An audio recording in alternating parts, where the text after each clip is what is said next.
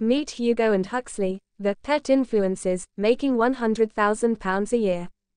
At first glance, Hugo and Huxley may look like thousands of other golden retrievers, but these pet influencers make their owner, Ursula Aitchison, more than £100,000 a year in modeling, advertising, and sponsorship deals. Hugo, 9 next month, and Huxley, 3, A part of a booming trend for pet models, with advertising agencies capitalizing on the internet's love of anything animal related to promote everything from wellies to ferries. As well as products for humans, many pet influencers showcase designer dog attire and accessories including collars, jackets and harnesses from high fashion brands such as Moncler, Prada and Anya Hindmarch.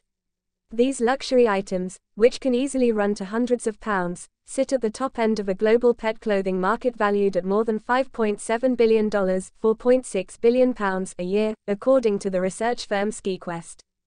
Aitchison says she fell into the career of mother agent, manager and casting director for her dogs accidentally, during a previous venture as a pet photographer. I was working photographing people and the dogs, and I used him, Huxley, as a muse and practiced with him, she says. Compared to the dogs I was photographing, he was really good at staying still and taking direction, so I put him forward to an agency. Hugo immediately found work and has featured in adverts for a range of brands and products including Hunter Wellies, New Look, Dyson vacuum cleaners, Tesco and P&O ferries.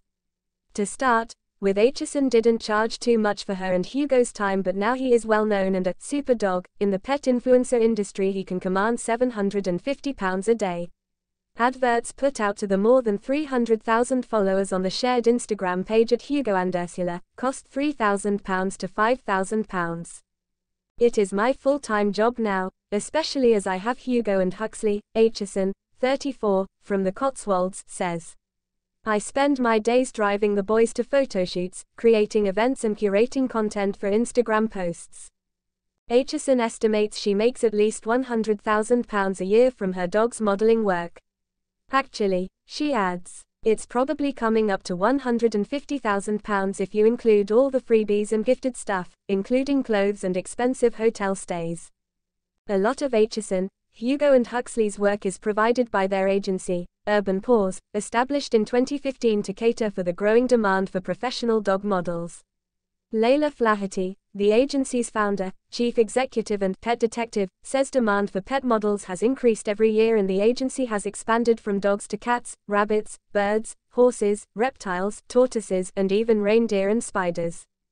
There's an ever increasing demand for animals in adverts, on TV, and for promoting products on social media, which is seeing a huge boom in pet influences, Flaherty says.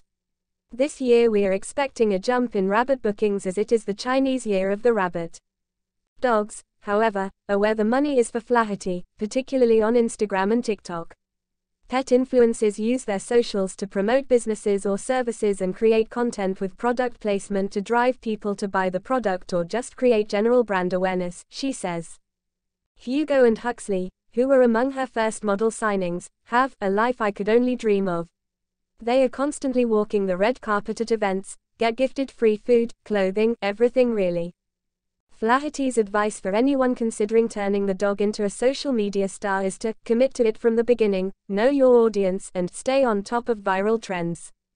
That was how another of her models, Good Boy Ollie, became a social media star, she says. His owner made videos of him balancing all sorts of everyday objects on his rear end and it really took off online. The Labrador now has 1.2 meters followers on Instagram and 5.8 meters on TikTok, making him one of the most popular pet influencers on the planet. As with many online trends, pet influencing started in the US, where the first breakout star was Grumpy Cat, real name Tardar Sauce, whose distinctive underbite inspired a 1000 memes, not to mention a range of merchandise, books and even her own film. Even after her death in 2019, her Instagram account still has 2.6 meters followers, not far off that of today's pet stars such as Tucker the goofy golden retriever who has 3.3 meters. Ollie's owner Alex, 23, says she also accidentally fell into becoming a pet influencer manager. I uploaded two videos on TikTok two years ago and it went viral overnight, she says. I didn't expect them to be that popular, one of the clips showed Ollie in a cute bow tie, and the other was him watching his favorite TV show, Phineas and Ferb. He is my first dog, And I was only a teenager when I got him, says Alex, who asked that her surname not be published because of concerns about Ollie's security. My own social media pages were getting spammed with dog content, so I thought why not create his own account.